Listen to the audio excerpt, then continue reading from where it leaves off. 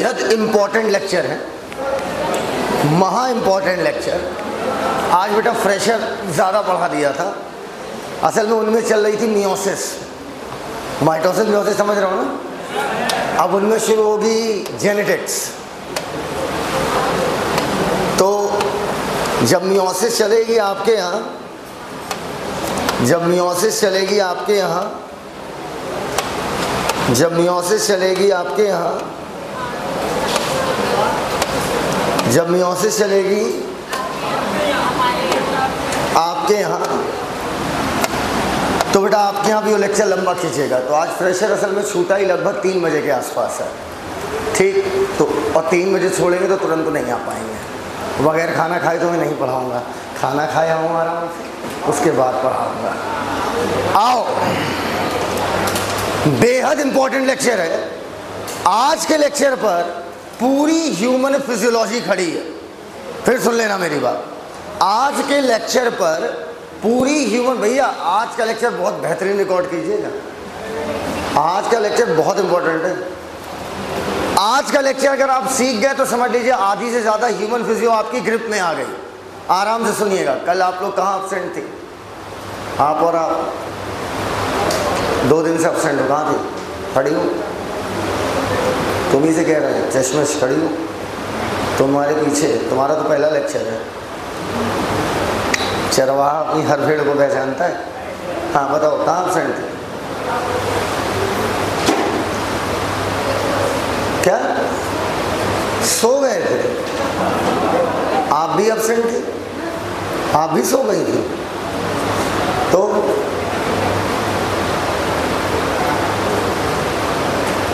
बताना नहीं। बैठो बहन, बैठो बैठो, बहन, बैठो बैठो। आराम आराम से सीखिएगा एक एक बात सीखिएगा। आज आप बॉडी के हर एक ब्लड के पाइप को समझोगे कि कहाँ पर कौन सा पाइप गया है और किस पाइप का क्या नाम है। एक एक चीज़ सीखते जाइएगा। कॉपी किताब छोड़ दीजिए, अभी कुछ भी ड्रॉ मत कीजिएगा। बोर्ड की तरफ़ देखिएगा। मान लीजिए, ये कोई चच्चा है। क्योंकि ये बोल्ड नीचे की तरफ़ स्लाइड नहीं होता है, इस वजह से हम लोग बॉडी को दो पार्ट में बनाएँगे। क्लियर एक यहाँ तक और एक उसके नीचे। अब देखना। मान लीजिए, ये कोई चच्चा है। ह्यूमन फिजियोलॉजी का सबसे बेसिक सबसे इंपॉर्टेंट लेक्चर ठीक? ये बताओ, इसमें ये सेलेक्ट होता है क्या? होता होगा? होता होगा, ऐसा नहीं हो सकता। शब्द लेटर सपोज़ ये कोई चच्चा है। क्या है? चच्चा और ये हो गया उनका हाथ। बोल छोटा पड़ जाएगा। अब कैसे दिखाएँ? अच्छा तुम समझने के लिए मैं सर और छोटा कर दूँ, चल जाएगा?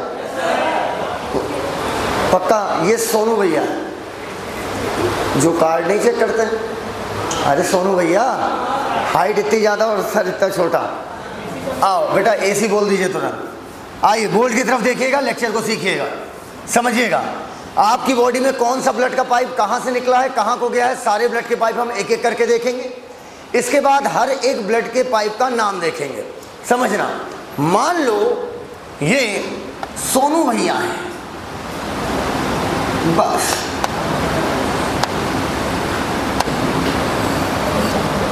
और ये हो गया उनका हाथ।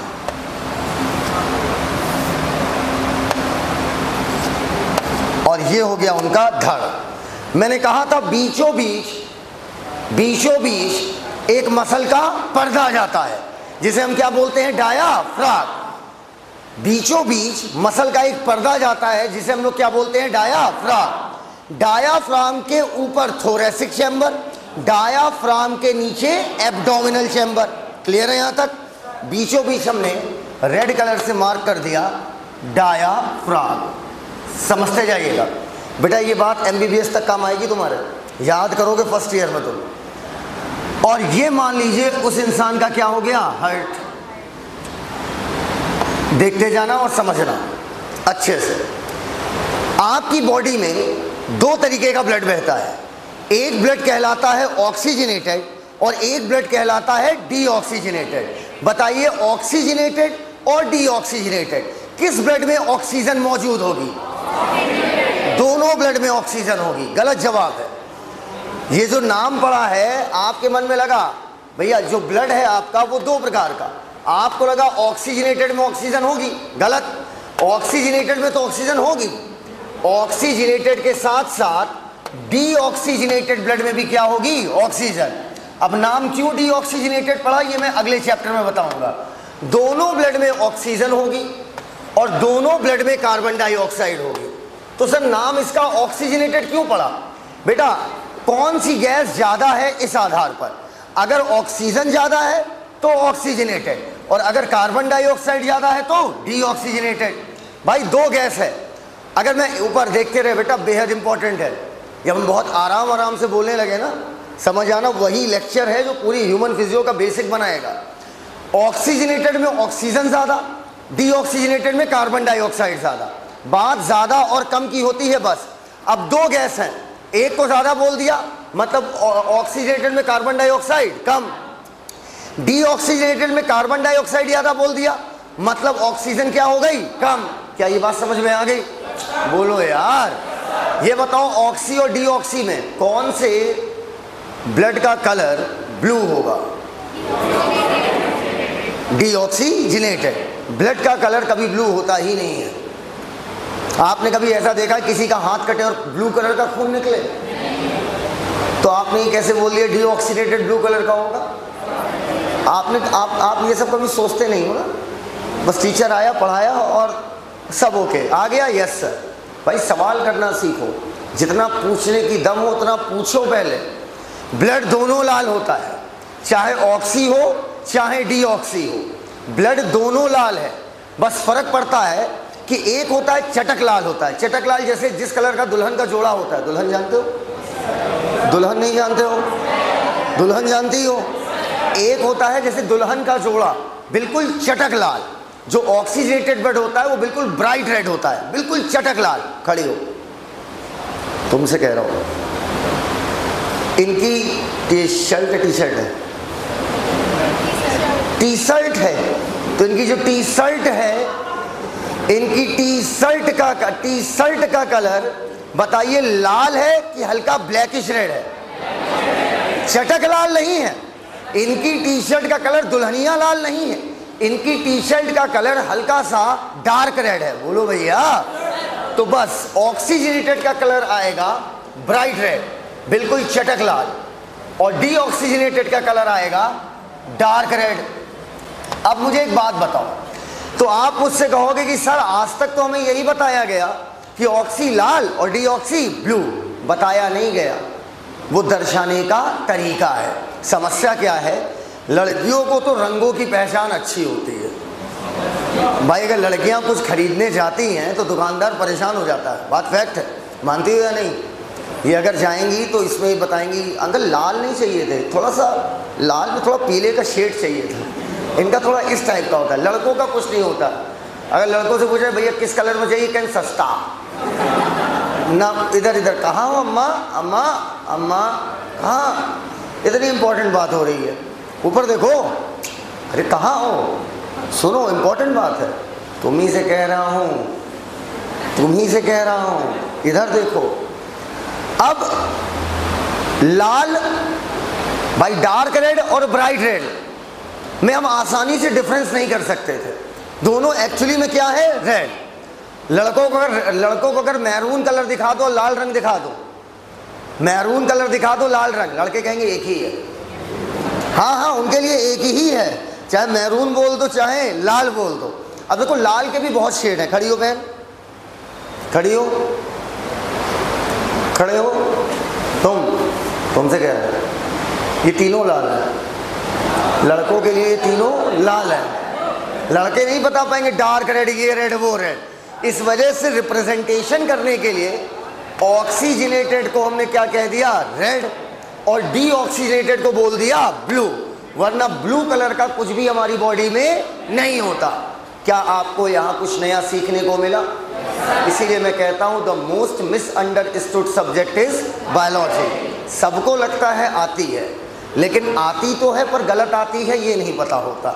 सबको लगता बायो आती है। भाई, ये हमने कभी सोचा क्यों नहीं? इतनी बेसिक बात। आप, हम कह रहे हैं किसमें ऑक्सीजन ज़्यादा? आप कह रहे हो ऑक्सीजन मैंने कहा किसमें ऑक्सीजन है? आपने कहा ऑक्सीजनेटेड बिल्कुल गलत बात। दोनों में ऑक्सीजन है, दोनों में कार्बन डाइऑक्साइड है। कौन सी ज़्यादा, कौन सी कम? सवाल ये बनता है। एकदम क्लियर है वाली बात। अब आओ बेटा, इधर देखो बोर्ड की तरफ़, वापस आओ। ये बताओ, समाज में गंदे लोग ज़्यादा हैं या अच्छे?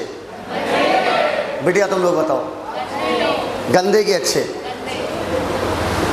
गंदे लोग ज़्यादा हैं। आप अपने आप को समाज में इंक्लूड कर रही हैं मतलब? समाज में गंदे लोग ज़्यादा हैं, अच्छे लोग कम हैं। जितने भी क्लास में राइट हैंड वाले हैं, हाथों पर करें, जो राइट हैंड से लिखते हैं। लेफ़्ट हैंड ऊपर करें जो लिखती राइट से इधर तबीयत खराब है क्या हाँ तबीयत खराब है चेहरे अच्छा तो अब बेटा ये देखो अच्छा राइट वाले इतने लेफ़्ट वाले लेफ़्ट वाले भरी क्लास में एक भी लेफ़्ट अच्छा आप हैं अच्छा आप भी राइट है अच्छा कैमरा सेट कर रहे थे पूरी क्लास में एक भी लेफ़्ट हैंड वाला नहीं है बेटा एक आध होंगे, गलती से एक आध छिलगोजा होगा। पूरी की पूरी क्लास लगभग क्या है? राइट है। समाज में गंदे लोग भी ज़्यादा हैं और राइट हैंड वाले भी ज़्यादा हैं। मैंने ये नहीं बोला राइट हैंड वाले गंदे हैं। ठीक है कुछ क्यों नहीं बोला? बेटा, मैं दोनों हैंड मैं दोनों से लिखता हूँ। मैं राइट से भी लिखता हूँ लेफ़्ट से भी लिखता हूँ, ज़रूरत के अनुसार। आज जब एनाटमी पढ़ाऊँगा तो दोनों हाथ चलते हैं। अब समझना, बेटा, हल्ट के राइट साइड ये ट्रिक है कॉन्सेप्ट नहीं। हल्ट के राइट साइड हमेशा गंदा ब्लड बहेगा। गंदा ब्लड मतलब डीऑक्सीजनेटेड ब्लड समाज में गंदे लोग ज़्यादा राइट हैंड वाले ज़्यादा। हल्ट के राइट साइड आपका कैसा ब्लड बहेगा? गंदा। गंदा ब्लड मतलब डीऑक्सीजनेटेड ब्लू से दिखाए या रेड से? बोलते ही नहीं हो यार। ब्लू से। तो मैंने इधर साइड क्या कर दिया? ब्लू कलर से रख दिया। ठीक। अभी कर दूँगा, सही कर दूँगा। हल्ट के लेफ़्ट साइड हमेशा बहेगा ऑक्सीजिनेटेड ब्लड। चटक लाल, बिल्कुल सही। Bright red. समझना, ये हो गया आपका हर्ट हर्ट के राइट साइड कैसा ब्लड? डीऑक्सीजनेटेड। और लेफ़्ट साइड लेफ़्ट साइड कैसा ब्लड? ऑक्सीजनेटेड। जल्दी बताओ। बोलते ही नहीं हो यार। इतनी मोहब्बत से, आराम आराम से सिखाता हूँ एक एक चीज़। देखो, अब ये हो गया आपका हर्ट। पहले बताओ, ये बात एकदम क्लियर हो गई? हर्ट के राइट साइड क्या होगा और लेफ़्ट साइड क्या होगा? राइट हमेशा डी ऑक्सी लेफ़्ट हमेशा ऑक्सी क्लियर है? आओ, इधर आओ। अब मेरी बात सुनो। अगर कोई ब्लड समझना मेरी बात, आपके हर्ट से निकलकर सेल्स तक जा रहा है तो सेल उससे क्या निकाल लेंगी? ऑक्सीजन अगर भाई हल्ट कॉन्ट्रैक्ट किया, हल्ट सिकुड़ा, और ब्लड किसके पास गया? सेल के पास। तो सेल क्या करेंगी? उससे ले लेंगी ऑक्सीजन। और बदले में डाल देंगी कार्बन डाइऑक्साइड। अब ये ब्लड कार्बन डाइऑक्साइड वाला किसके पास जाना चाहिए? लंग्स के पास, ताकि लंग्स इसकी कार्बन डाइऑक्साइड निकाल दे। समझना मेरी बात, फिर सुनो। हल्ट कॉन्ट्रैक्ट किया, ब्लड छपाक से निकला। बताओ ऑक्सीजन ऊपर से ले जानी है कि नीचे की दोनों तरफ़? अर्थात, कुछ ब्लड के पाइप ऑक्सीजन लेकर गए, ऊपर, कुछ ब्लड ऑक्सीजन लेके गया, नीचे। अब नीचे समझना मेरी बात? नीचे से ब्लड को कहा आना है? ऊपर। किसके पास आना है? लंग्स के पास। सेल क्या करेंगी? ऑक्सीजन ले लेंगी। कार्बन डाइऑक्साइड डाल देंगी। अब कार्बन डाइऑक्साइड वाला ब्लड जिसमें कार्बन डाइऑक्साइड ज़्यादा। बताओ ऑक्सी की डीऑक्सी वो लौटेगा वापस। लेकिन यार, वापस लौटने के लिए कितना प्रेशर ब्लड में बाकी नहीं रह जाता। कोई चीज़ कितनी भी तेज़ी से फेंको, कितनी भी तेज़ी से फेंको, एक लिमिट के बाद उसका प्रेशर क्या हो जाएगा? कम। बॉडी में कौन सा ऐसा अंग है जो ब्लड में प्रेशर पैदा करता है? बोलते ही नहीं है यार। समझना ब्लड गया सेल ने ऑक्सीजन निकाली। बदले में क्या डाली? कार्बन डाइऑक्साइड लेकिन अब उस ब्लड का प्रेशर हो चुका है बहुत कम। क्या कर रहे हो? अरे यार, अगर मान लो यही हार्ट है, ये क्या है हार्ट अगर अगर ये प्रेशर मारा, उतनी दूर तो गया? अबे कोई चीज़ कितने भी प्रेशर से मारोगे, एक लिमिट के बाद प्रेशर क्या हो जाएगा? ड्रॉप क्या हो जाएगा, कम हो जाएगा। अब ब्लड कहता है, मुझको लंग्स के पास ले जाओ, मुझको साफ़ होना है, मुझे कार्बन डाइऑक्साइड बाहर करनी है और ऑक्सीजन अंदर लेनी है। लेकिन ब्लड बाबू, तुम्हारे पास क्या नहीं है? प्रेशर कि तुम लंग्स तक पहुँच पाओ कायदे से। इस वजह से अब ब्लड वापस किसमें लौटेगा? हार्ट। बताओ, इस ब्लड में सुनते लिखो मत यार। ये लिखने की क्लास नहीं है सुनने की क्लास है। ये पूरी ह्यूमन फिजियो का बेसिक है। इसी पे सब कुछ खड़ा हुआ है। जितने चैप्टर हैं। Breathing and exchange of gases body fluid and circulation खुद। Excretory products elimination locomotion neural control and coordination chemical control and coordination reproductive system जितने भी हैं, सब इसी लेक्चर पे खड़े हैं, इसके मन से सुनते जाओ। जो ब्लड वापस हल्ट को आ रहा है, जो ब्लड वापस हल्ट को आ रहा है, बताओ वो ऑक्सी है कि डी ऑक्सी हल्ट को क्यों आ रहा है? ताकि प्रेशर बढ़ जाए। अब वापस बेटा अगर हल्ट को आ रहा है तो बताओ डी ऑक्सी ब्लड किधर जाएगा राइट या लेफ़्ट एकदम क्लियर है बात? आवाज़ तेज है क्या? आवाज़ तेज है क्या? तुम्हें तेज लग रही है? नहीं, मेरा आवाज़ कुछ ज़्यादा ही तेज है। हमें ऐसा लग रहा है। धीमे कर दें। हाथ हटाओ फिर। तो क्या तुम माइक से पढ़ने की आदत नहीं है। माइक से पहले नहीं पढ़ा था कभी। अरे, तुमसे कह रहे हैं, खड़ी हो। हाँ जी हाँ। माइक से पहले नहीं पढ़ा था? कहाँ पढ़ते थे? सर? अच्छा तो ये बैच कैसे मिला? नहीं, आएगा तो सब समझ में। अच्छा ये ज्वाइन करना है।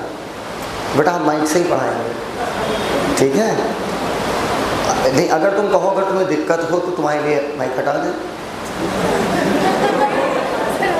मत पढ़ो। हम माइक इस बैठो आओ, अब सुनो हमारी बात।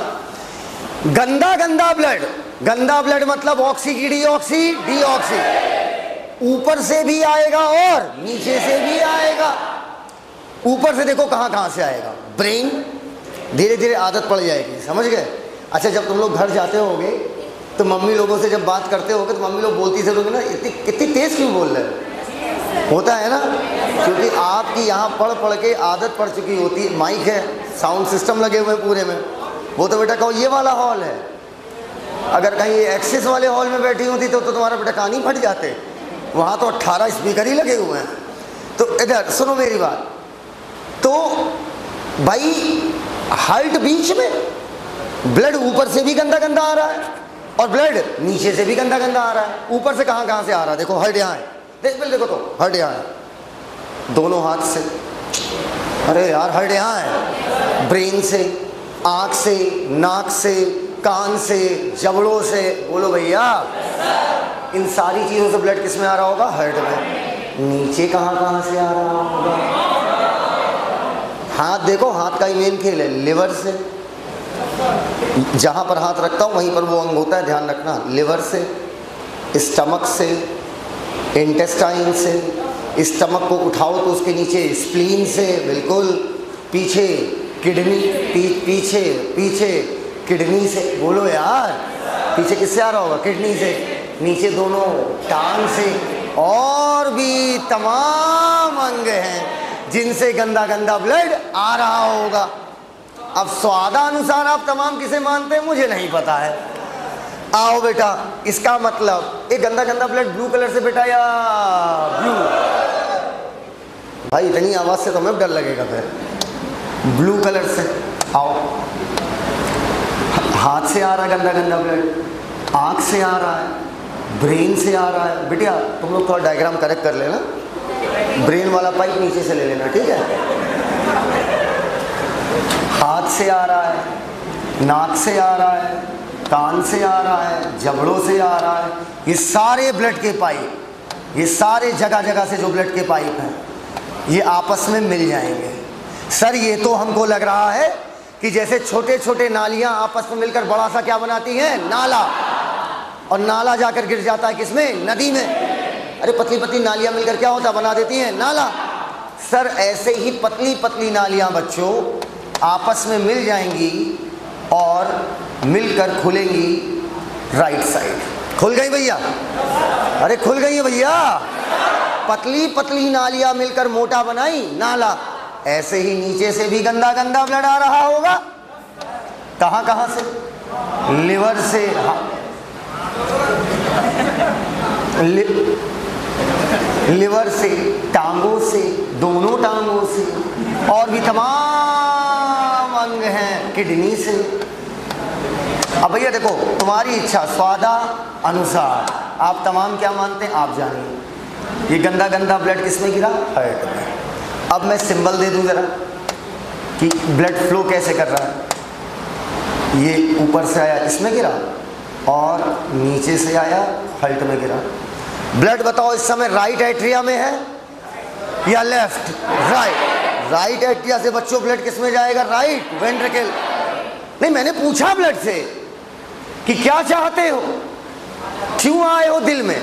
कहते हैं, असल में जब गए थे ना तो सेलवा जो है ऑक्सीजन ले ली सीओ टू डाल दी और ये सब करने के दौरान प्रेशर हो गया बहुत कम। हम जाना चाहते थे लंग्स के पास। मंजिल हमारी क्या थी? लंग्स क्योंकि वही क्या करेगी? सीओ टू और ओ अंदर।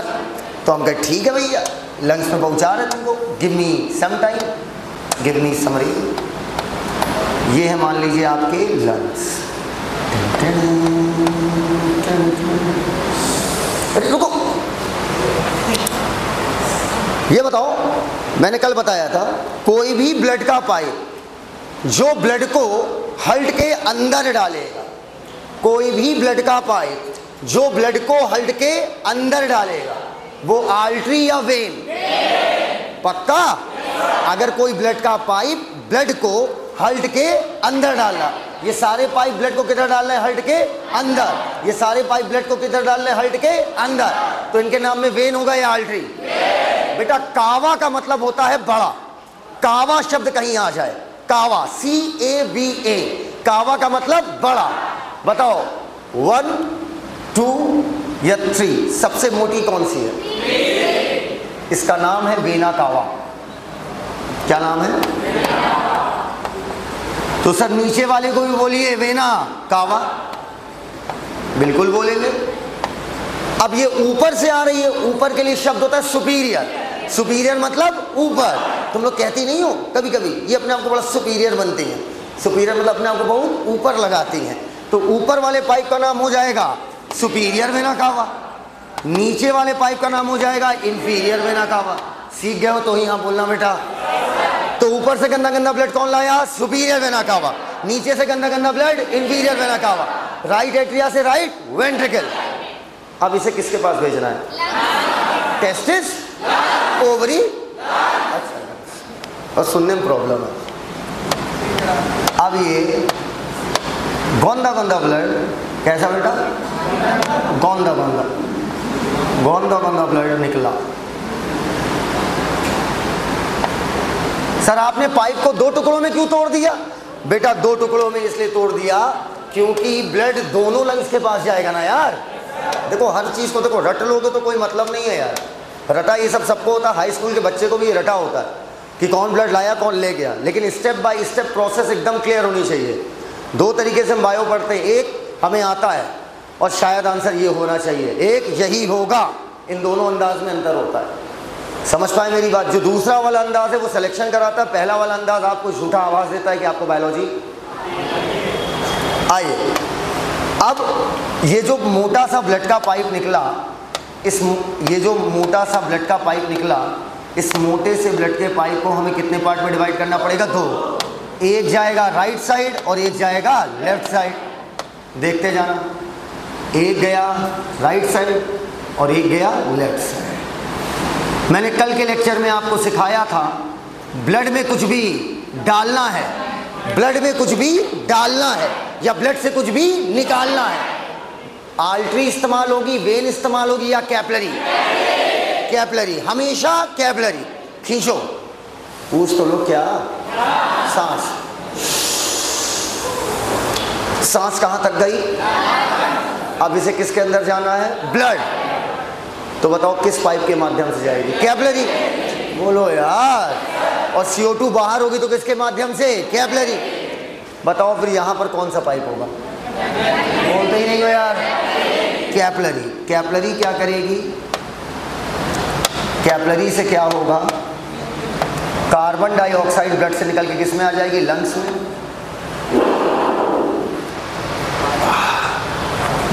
और ऑक्सीजन चली जाएगी। ब्लड। सेम घटना यहाँ भी घट रही होगी। जब कार्बन डाइऑक्साइड निकलेगी और ऑक्सीजन घुसेगी तो बताओ ऑक्सीजन की मात्रा क्या होगा? बढ़ रहा होगा और कार्बन डाइऑक्साइड की मात्रा घट रही होगी। क्या कर रहे हो यार? मैं अगर किसी चीज़ को बाहर निकालना हो तो वो कम हो जाएगी। तो कार्बन डाइऑक्साइड अब ब्लड में क्या हो जाएगी? कम। और ऑक्सीजन क्या हो जाएगी? ज़्यादा। ये मत बोलना कार्बन डाइऑक्साइड खत्म हो जाएगी। ऐसा नहीं होता, खत्म हो जाए कि ब्लड यहाँ पर रुका रहेगा, कि जब तक भैया कार्बन डाइऑक्साइड पूरी नहीं निकलेगी, हम यहाँ से हिलेंगे नहीं। अरे ब्लड भाग रहा होता है। बोलो यार, जितनी निकल पाई निकल पाई, बाकी बाहर, बाकी आगे बढ़ गया। अब ब्लड का रंग कैसा हो जाएगा? बोलो यार ब्लड का रंग हो जाएगा लाल। चटक लाल। हाँ बेटा, तुमने मेरी आँखें खोल दी। बस आँखों तक ही सीमित रहना। एक बात कह रहा हूँ। ये बताओ बच्चों ऑक्सीजनेटेड ब्लड में ऑक्सीजन ज़्यादा है। बताओ बॉडी में प्रत्येक सेल को क्या चाहिए? ऑक्सीजन मैंने ब्लड से कहा कि अब तुम्हारे पास ऑक्सीजन आ गई है। तुम चटक, लाल हो गए हो। अब तुम्हें चले जाना चाहिए किसके पास? बॉडी के पास। हाँ हाँ ताकि सेल क्या करें? ऑक्सीजन निकाल लें और सीओ टू डाल दें। अरे साहब, चले तो जाते। लेकिन परेशर नहीं है। और एक तो साला न्यूटन। अरे न्यूटन, सर ऊपर जाना है, सर अगेंस्ट द ग्रेविटी हाँ हाँ सर अगेंस्ट द ग्रेविटी जाना है। सर प्रेशर चाहिए। मैं कहा, भैया, प्रेशर तो दो ही जगह हमने फील किया है। एक यूरिनरी ब्लैडर में और एक हर्ट में। अरे, लेकिन यूरिनरी ब्लैडर में तुम जा नहीं सकते क्योंकि तुम ब्लड हो। और जाओगे तो पता नहीं इंसान क्या निकालेगा। क्या मैंने कुछ गलत कहा? मैंने आपसे वैज्ञानिक स्तर की बात की। अब इसको वापस जाना पड़ेगा किसके पास? हर्ट लेकिन अब क्या होगा? एक घटना घटेगी। पहले बताओ लेफ़्ट साइड जाएगा कि राइट लिया था कि right side deoxy left side oxy अब एक घटना घटेगी, देखना। अब ये ब्लड का पाइप दो पार्ट में टूट जाता है। कितने पार्ट में? दो पार्ट में। क्यों टूटता है ये स्लेबस में नहीं है। बहुत, लेकिन बहुत फायदेजनक होता है अगर ये दो पार्ट में ना टूटता, सीधे चला जाता ना लेफ़्ट एट्रिया में तो दिक्कत हो जाती। लेकिन अब वो सिलेबस में नहीं तो मैं बताऊँगा नहीं। थोड़ा सा फ्लूड मैकेनिक्स का कॉन्सेप्ट लगता है। फ्लूड मैकेनिक्स नाम सुना? फ्लूड मैकेनिक्स नाम सुना है? अच्छा इधर वाला ब्लड का पाइप तो सीधा चला गया। भाई, लेफ़्ट साइड वाला तो सीधा घुस गया। समस्या आएगी इधर वाले पाइप को, क्योंकि इसके सामने क्या पड़ रहा है? Right atria. बोलो यार, और जाना इसे किधर है? Left atria. एक कॉपी देना। कॉपी लाओ। ये मान लो हर्ट ठीक। ये मान लो क्या है? हर्ट दो पाइप लाओ। दो पाइप लाओ। तुम चार पाइप ला रही हो। अरे दो तो सीधा घुस जाएगा ना। वो तो उधर वाला समझा रहे कि राइट साइड वाला कैसे घुसेगा। ये मान लो हर्ट है। क्या है? हर्ट। पकड़ो बहन। ये दो पाइप है। ये पीछे ये पीछे से गया और लेफ़्ट एट्रिया में खुला। नहीं समझ पाए। मतलब अगर हल्टवा उठाओ हल्टवा उठाओ तो ये तो पीछे से गया और घुस गया। हाँ। अब पीछे से हम कैसे दिखाएँ? उसके लिए इंसान को हमें कैसे बनाना पड़ेगा? पीछे से। बोलो यार। तो इसलिए हम यहाँ पर इन पाइप के सिर्फ़ छेद दिखा देते हैं कि ये है। देख रहा? दो इधर वाले और दो उधर वाले। सर, ये वाला क्या है छेद? बेटा, ये वाला गलती से लगा हुआ एरर है। बताओ, यहाँ तक बात क्लियर है? इस समय ब्लड लेफ़्ट एट्रिया से होकर कहाँ पहुँच जाएगा? लेफ़्ट वेंट्रिकल क्लियर हो तो हाँ बोल दो यार। क्लियर हो तो पूरी क्लास हाँ बोल दे। सबसे पहले ऊपर से गंदा गंदा ब्लड सुपीरियर में ना कावा नीचे से गंदा गंदा ब्लड इंफीरियर में ना कावा राइट एट्रिया से राइट वेंट्रिकल अच्छा अब पाइपों के नाम रखने हैं हम लोग को। क्या रखने हैं? पाइपों के नाम। मैंने आपको पहले लेक्चर में सिखाया था पलमोन का मतलब क्या होता है? पलमोन मतलब? लंग्स तक अगर कोई पाइप गया है, फिर सुनो मेरी बात। लंग तक अगर कोई पाइप गया है, या लंग से कोई पाइप वापस आ रहा है तो दोनों में लंग्स का नाम आता है। जो पाइप लंग्स तक ब्लड लेके गया है, उसके नाम में भी पलमोन आएगा। और जो ये वापस लेके आ रहे हैं, दो पाइप इधर से, दो पाइप उधर से। इसके नाम में भी पलमोनरी आएगा लेकिन सर, ब्लड का वो पाइप जो हर्ट से ब्लड को बाहर निकालेगा, उसके नाम में क्या होगा? आल्ट्री। और जो ब्लड को अंदर ले जाएगा, उसके नाम में क्या होगा? वेन। क्लियर हो तो हाँ बोल दो यार। जो ब्लड बाहर ले गया लंग्स तक वो पलमोनरी, आल्ट्री। और जो वापस लेकर आया पलमोनरी, वेन। सिर्फ़ मेरी बात सुनते रहो, दिमाग मत लगाओ। दिमाग उसके लेक्चर में लगाया जाता है जहाँ पर मैं बेसिक्स ना बता रहा हूँ। मैं आपको क्लास सिक्स का भी नहीं मानता। ज़ीरो मानता हूँ ज़ीरो कुछ नहीं पता आपको। इस वजह से बस सुनते जाइए, आप सीखते चले जाएँगे। अब आप मुझे बताइए ब्लड इस समय कहाँ पर हार्ट में तो है चच्चा। लेफ़्ट वेंट्रिकल यहाँ पर है? बोलो यार। अरे आ गया ना ब्लड साफ़ हो गए अब बताओ जल्दी से ब्लड को कहाँ भेजना चाहते हो? बॉडी बोल दो या बॉडी सिस्टम? ऊपर भेजना चाहते हो कि नीचे? दोनों तरफ़? आओ, भेजता हूँ मैं तुम्हारे सामने। आज भेजूँगा। ब्लड ऊपर भी भेजूँगा। और अरे सर, ये क्या बना दिया? ये तो सर हमको लग रहा है जैसे जब हम छोटे थे तो गणित में ऐसे चाप मारते थे। याद है या नहीं याद है? अरे, आर। बेटा हाई स्कूल में इसी से तो पास हुए थे। अंग्रेज़ी में से क्या बोलते हैं? आर्क। और इस पाइप का नाम होगा आर्क आर्क ऑफ़ पहले बताओ आल्ट्री है कि वेन है। बोलते ही नहीं हो यार। तुम्हें कैसे पता? ब्लड बाहर ले जा रहा है। जो ब्लड बाहर ले जाएगा हल्ट से वो artery arch of aorta arch of aorta से समझना। अब बताओ, ब्लड ऊपर ले जाना है या नीचे? बोलते ही नहीं हो यार। तीन पाइप ऊपर जाता है ब्लड देने। कितने पाइप? तीन पाइप। तीन पाइप ऊपर जाएगा ब्लड देने और एक मोटा सा पाइप हल्ट के पीछे से होता हुआ नीचे जाता ब्लड देने। बोलो, तीन पाइप ऊपर, एक पाइप नीचे, ऊपर से पीछे, बोलो, तीन पाइप ऊपर, एक पाइप नीचे, ऊपर से नीचे। कितनी अच्छी शायरी है, तीन पाइप ऊपर, एक पाइप नीचे, ऊपर से नीचे। हाँ समझ पाए बेटा? अब पूछो क्या होगा? अरे पूछ लो क्या होगा? सेल ऑक्सीजन ले लेगी कार्बन डाइऑक्साइड दे देगी। ऊपर से गंदा गंदा ब्लड सुपीरियर वेना कावा नीचे से गंदा गंदा blood inferior vena cava right atria right ventricle pulmonary artery आदान प्रदान। Pulmonary vein left atria left ventricle arch of aorta तीन पाइप ऊपर एक पाइप पूछो अब क्या होगा? सेल ऑक्सीजन ले लेगी कार्बन डाइऑक्साइड दे देगी। ऊपर से गंदा गंदा ब्लड सुपीरियर में कावा। नीचे से गंदा गंदा ब्लड इंफीरियर में ना cava. Right atria right ventricle pulmonary artery ये क्या कर रहा हूँ? दो पार्ट में डिवाइड कर रहे हैं क्या? एक राइट लंग, एक लेफ़्ट लंग। आदान प्रदान। पलमोनरी। ये क्या है? दो इधर से, दो इधर से। Left atria left ventricle arch of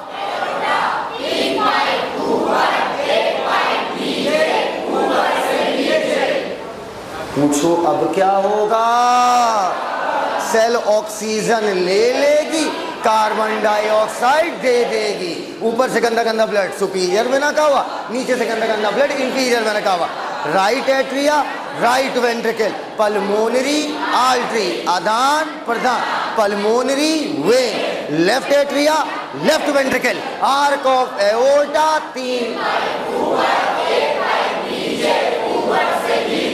पूछो अब क्या होगा?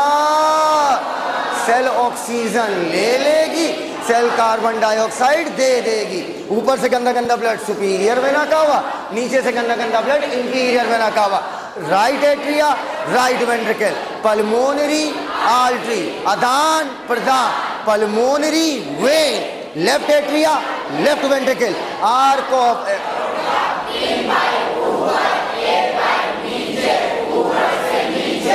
पूछो अब क्या होगा? सेल ऑक्सीजन ऊपर से गंदा गंदा ब्लड सुपीरियर में ना हुआ? नीचे से इन, अब हम बोलेंगे हम बोलेंगे हम बोलेंगे, हम हम हम हम हमारा नंबर अब हमको आता है, हमको आता है। हमको साहिल सर पढ़ाए, हल्के में लियो ऊपर से गंदा गंदा ब्लड सुपीरियर में कहा नीचे से गंदा गंदा ब्लड इंटीरियर में कहा right atria right ventricle pulmonary artery pulmonary vein left atria left ventricle arch of तीन पाइप ऊपर एक पाइप नीचे, ऊपर से नीचे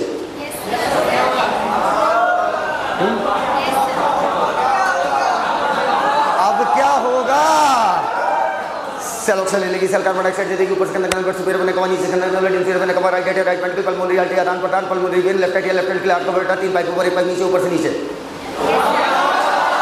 अब रुक जाओ। तुम लोग मेरी लेने लगे। हम शुरुआत हम किए और तुम तो हमारे ऊपर टूट पड़े। पहले बताओ, ये पूरा सर्कुलेशन क्लियर है? सुना सकते हो? इशारा हमारा, अंदाज हमारा, आवाज़ आपकी। पक्का?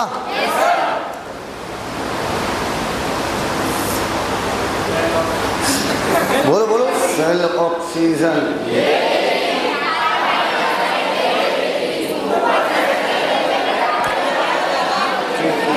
ब्लड इंटीरियर में नाका हुआ।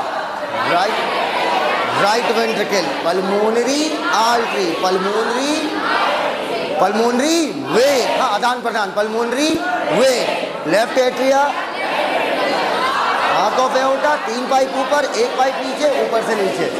इज़ दिस क्लियर डन आगे बढ़ रहा हूँ फिर। आओ हाँ? अब क्या होगा? हाँ, बताओ।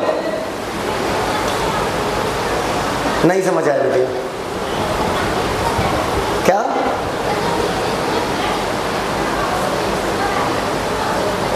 क्या कह रहे क्या कह रही?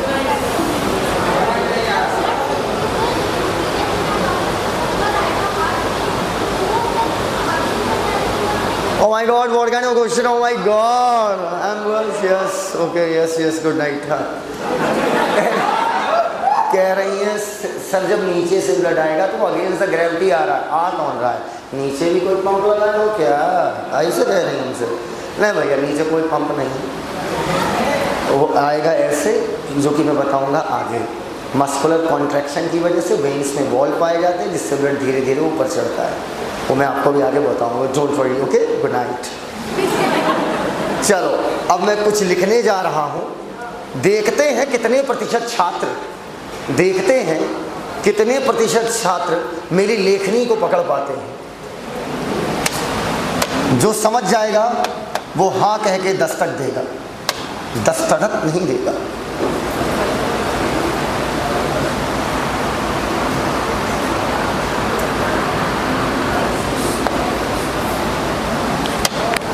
कोई लिखेगा नहीं।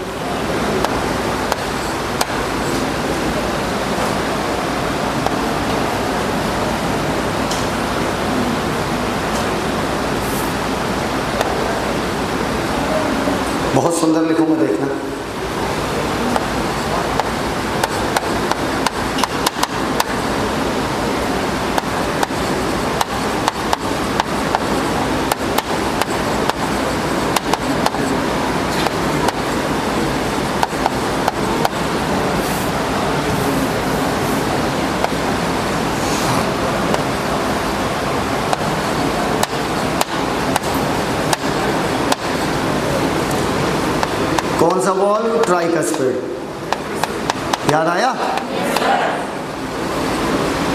राइट वेंट्रिकल से पल्मोनरी आर्टरी लिखने का तरीका देखना मज़ा आ जाएगा।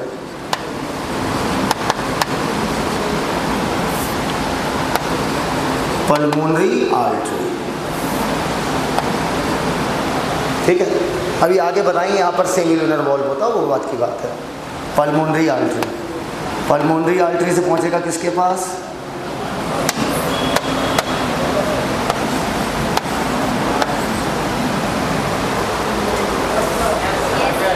ये क्या किया? लंग्स में होते होते क्या होने लगा ब्लड ऑक्सीजनेटेड पकड़ पाए लिखने का तरीका। अरे वाह, आपने तो आइंस्टाइन की रिसर्च पूरी समझ ली। Pulmonary vein left atria left ventricle कौन सा बॉल होगा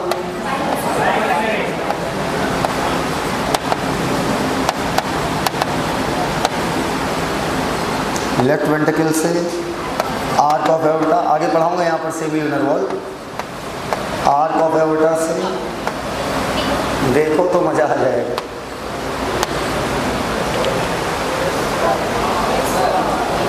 उधर देख भाई सिलेक्शन इधर नहीं, इधर है। बॉडी में गया था ऑक्सीजनेट है। हो गया डी ऑक्सीजनेट है। नहीं समझ पाए। ये हो गया हमारा ब्लड सर्कुलेशन अब क्या होगा?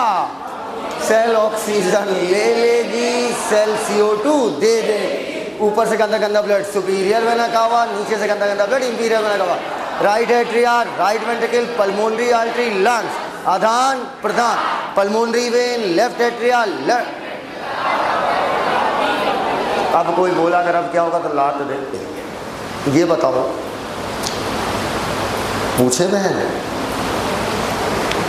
बॉडी में घूम के जब ब्लड जाता है क्वेश्चन बॉडी में जब घूम के ब्लड जाता है, ठीक? मान लो तुमको उठा के बॉडी में फिट कर दें ठीक?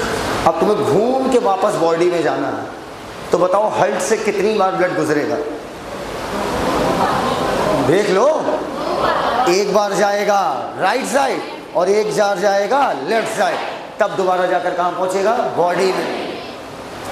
Clear that's why we say human have double circulation human में डबल सर्कुलेशन क्यों होता है? क्योंकि बॉडी में घूम के वापस जाने के पहले ब्लड को हल्ट से कितनी बार गुजरना पड़ता है? दो बार। पक्का? अरे यार, एक बार बॉडी से आया? एक बार बॉडी सुनो मेरी बात। इधर बहुत सुंदर लाइन आ रही, बहुत सुंदर लाइन बोलना नहीं मार डालेंगे। एक बार हल्ट से गया बॉडी में और एक बार बॉडी से हल्ट को आया। ये एक सर्कुलेशन हुआ। अबे एक बार, ये हल्टी तो है भैया, बाबू। लेफ़्ट एट्रिया लेफ़्ट वेंटिकल एक बार हल्ट से कहा गया? बॉडी में और फिर बॉडी से कहा आया? हल्ट में ठीक? और एक और बहुत अच्छा पढ़ा रहे सुनो। एक बार हल्ट से फिर निकला, लेकिन अब की गया? लंग्स को वापस आया हल्ट को। अपराधी हो क्या? एकदम क्लियर है बात। बोलो भैया। बहुत सुंदर लाइन मुँह से निकलने वाली है, सुनो। डबल सर्कुलेशन क्यों कहते हैं? एम्स में ए आर आ चुका है इसके ऊपर। सुनो सुनो। बोलो नहीं बोलो नहीं। पूछो जुगनू कलर ले लेते हैं। लेफ़्ट वेंट्रिकल से जब ब्लड निकला तो घूम के कहा गया? राइट एट्रिया तक। ठीक?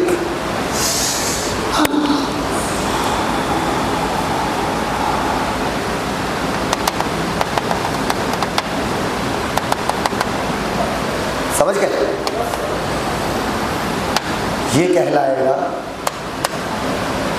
बॉडी को हम बॉडी सिस्टम भी बोलते हैं ना? ये कहलाएगा सिस्टेमिक सर्कुलेशन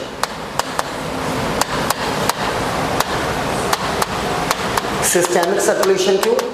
हर्ट से निकलकर बॉडी सिस्टम तक जाना और बॉडी सिस्टम से वापस हार्ट को आना।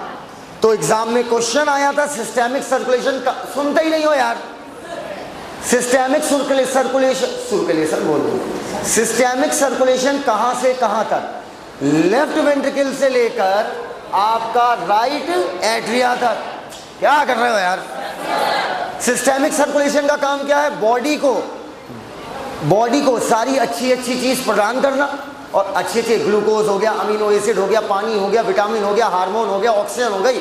और गंदी गंदी कार्बन डाइऑक्साइड बॉडी से लाना। पहले बताओ, ये बात क्लियर हो तो हाँ बोल दो यार। लेफ़्ट वेंट्रिकल से लेकर राइट एट्रिया तक कौन सा सर्कुलेशन हुआ? सिस्टम है। अब दूसरा देखो, कोई और कलर चूज़ करो। कौन सा ले ये लो। पिंक कौन है भैया? पिंक वाले। कौन है? खड़े हो। खड़े दो पीछे देखो। अब बैठ जाओ। इन्हें पिंक क्यों पसंद है सब समझ चुके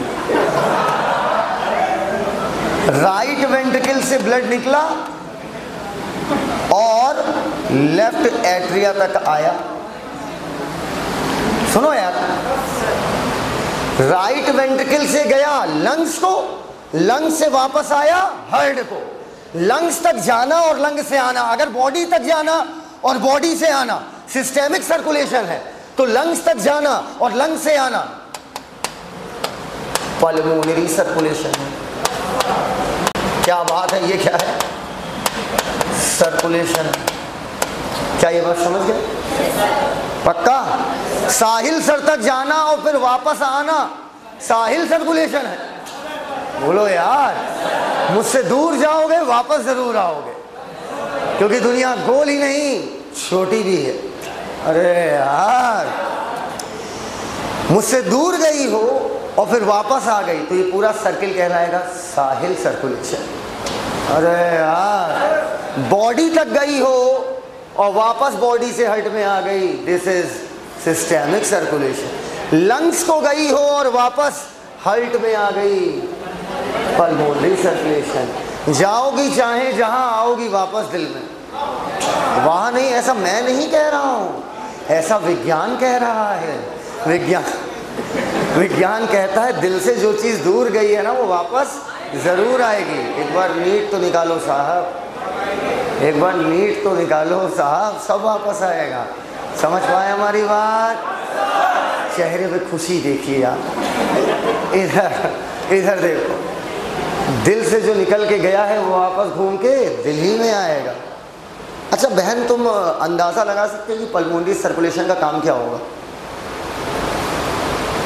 अरे लंग्स तक भेजने का काम क्या होगा? CO2 बाहर करना ऑक्सीजन अंदर करना। ब्लड को बॉडी तक भेजने का अरे बॉडी चली गई। लग रहा बॉडी में ज़्यादा झटका दे दी लड़की। बॉडी तक जाने का क्या फ़ायदा हुआ? अरे बॉडी को अच्छी अच्छी चीज़ें देना और गंदी गंदी सीओ टू लेना। एकदम क्लियर है वाली बात। That's why we say we have कौन सा सर्कुलेशन डबल सर्कुलेशन क्लियर है? आइए। अब आगे बढ़ते हैं। बोर्ड की तरफ़ देखिएगा और मेरी बात को समझिएगा अभी तक तो आपने बोल दिया, तीन पाइप ऊपर, एक पाइप नीचे। ऊपर से नीचे। ये तो आपने बोल दिया। अब आपको कुछ पाइपों के नाम याद रखने हैं। नाम याद मैं करा दूँगा, सिर्फ़ मुझे चार बार मेरी सुन लो, सारे नाम याद हो जाएँगे। ठीक? याद करो, पहले दिन मैंने गोल्डन वर्ड्स लिखवाए थे। कि ये बायोलॉजी के ये वो वर्ड है जो हमेशा याद होने चाहिए। गैस्टर का मतलब होता है स्टमक गैस्टर शब्द कहीं आ जाए, ना पता हो लिख लो। G A S T E R gaster मतलब स्टमक ना पता हो तो लिख लीजिएगा। गैस्टर मतलब stomach G A S T E R gaster मतलब stomach enteron E N T E R O N E N T E R O N लिख लो इंटेरॉन इंटेरॉन का मतलब इंटेस्टाइन इंटेरॉन का मतलब इंटेस्टाइन आपके पास ये वर्ड लिखे हैं क्या बेटा? पढ़े थे क्या पहले? हम ही से? इंटेरॉन मतलब इंटेस्टाइन। ब्रैकिया मतलब arm. B R A C H I A B R A C H I A brachia मतलब आर।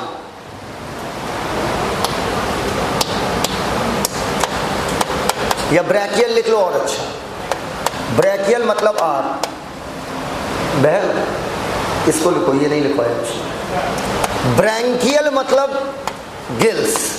इन दोनों में अंतर याद रखना, एन का है। एन लग गया मतलब बात किसकी हो रही है? मछलियों के गिल्स की। ब्रैकियल मतलब आर, ब्रैंकियल मतलब गिल्स। सब वर्ड कहीं आ जाए। इंस्पेक्टर बड़ा है कि सब इंस्पेक्टर? इंस्पेक्टर बड़ा है भैया।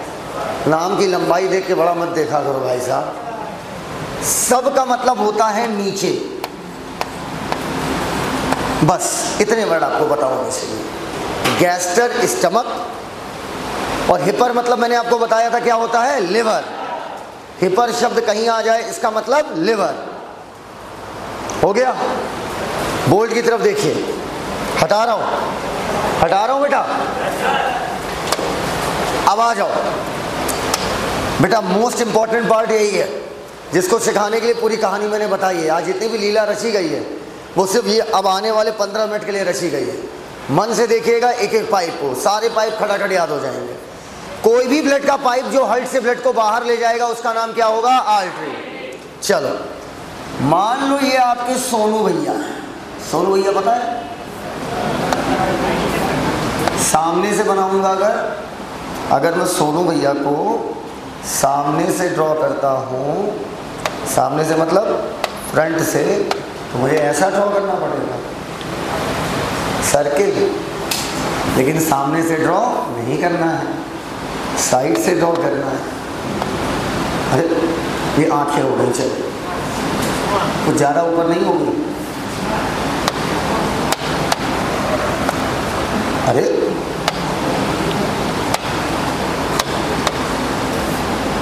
ये मान लो, ये मान लो, सोनू भैया का मुँह हो गया। ये सोनू भैया का हाथ हो गया।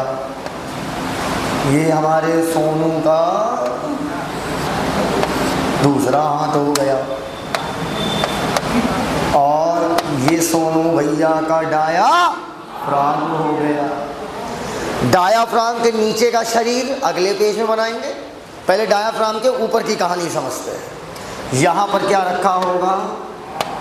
मेरे सोनू का दिल रखा होगा। सोनू।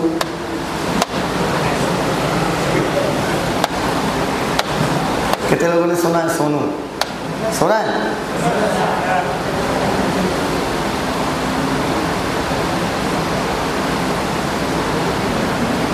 ठीक। राइट साइड से निकलती है आर्क ऑफ़ एओर्टा तीन पाइप ऊपर। नीचे ना ना ना ना, नीचे से कोई मतलब ही नहीं अभी। अभी हम ऊपर ही ऊपर पहला पाइप, दूसरा पाइप, तीसरा पाइप। चलो, कॉपी किताबें छोड़ दीजिए, दिल थाम के बैठ जाइए। जो पहला पाइप है, ऐसे करो सब लोग हाथ, ऐसे करो सब लोग हाथ। बेटा, तुम्हारे एमबीबीएस तक काम आएगा ये जो आपका पहला पाइप है, इसको दो पार्ट में डिवाइड करो। जब किसी पाइप को तुम दो टुकड़ों में बांटोगे तो वो पतला हो जाएगा कि मोटा। तुमको एक ही कर दी उसको। अलग अलग करो हाँ। अब एक चला जाएगा हाथ को ब्लड देने। एक चला जाएगा, एक चला जाएगा हाथ को ब्लड देने। और एक चला जाएगा ब्रेन के राइट साइड को ब्लड देने। इधर देखो ब्रेन के दो साइड, एक राइट और एक लेफ़्ट। पाइप आया पहला वाला, कितने पार्ट में बटा? दो। एक हाथ को चला गया और एक ब्रेन को। ब्रेन के किधर, राइट या लेफ़्ट? पक्का? ये आपके सिलेबस में नहीं है कि पहला पाइप क्यों दो पार्ट में टूटता है, वरना मैं ये भी बताता आपको और प्रूफ करता इसको। आइए। तो एक चला गया, हाथ को ब्लड देने। ये क्या हो गया? ये क्या हो गया? क्या? इंक खत्म हो गई एक चला गया राइट साइड देने ब्रेन को और एक चला गया हाथ को ब्लड देने। सीखते जाना भैया। सीखते जाना भैया आराम आराम से। ठीक। नाम कुछ होते होंगे, मुझे नहीं पता। जब नहीं पता तो पढ़ा कह रहे हैं? अरे पता है, बता रहे हैं। ब्रेन के राइट साइड को भी ब्लड दोगे कि लेफ़्ट को भी दोगे? लेफ़्ट को भी देंगे। बीच वाला पाइप सीधे चला जाता है ब्रेन के लेफ़्ट साइड को ब्लड देंगे इंसान ऐसे खड़ा है ना, इस वजह से मुझे डायग्राम बनाना पड़ रहा है इस तरीके से। ऐसे होता तो क्लियर दिखता है इधर और एक इधर। एक पाइप चला गया सीधे लेफ़्ट को ब्रेन देने। अब बताओ, तुम खुद सोच के बताओ, ये तीसरा वाला पाइप किसे ब्लड देने जाएगा? लेफ़्ट वाले हाथ को। सुनते जाओ यार, सिखाता चला जाऊँगा। ये चला गया लेफ़्ट वाले हाथ को दे ठीक, सीखते जाना। अब क्या क्या इनके नाम होंगे, आप सोच के बताएँगे। बेटा, मैंने आपको पढ़ाया था सिफेलो मतलब सर। हेड को हम लोग क्या बोलते हैं? सिफेलो। बोलते ही नहीं हो यार। हेड को क्या बोलते हैं? सिफेलो। एकदम क्लियर आप समझना, ब्रैकिया मतलब क्या पढ़ाया था? आर। जो इतना पाइप है, जितना मैं ऐसे बना रहा हूँ, इतना पाइप इतना पाइप कॉमन है, हेड को भी जा रहा है। बोलो यार, और आपका हाथ को भी जा रहा है। हाथ के लिए वर्ड कहलाएगा ब्रैकियो। ब्रैकियो मतलब क्या हो गया? हाथ। ब्रैकियो। क्योंकि इतना पाइप हाथ में भी जा रहा है ब्लड देने, और इतना ही पाइप से ब्लड ब्रेन को भी जा रहा है। सिफेलो मतलब सर। नाम होगा ब्रैकियो सिफेलिक ब्लड बाहर जा रहा है कि अंदर आ रहा है? बाहर। तो ब्रैकियो सिफेलिक आल्ट नाम रट रहे हो कि समझ रहे हो? पक्का? आओ बेटा।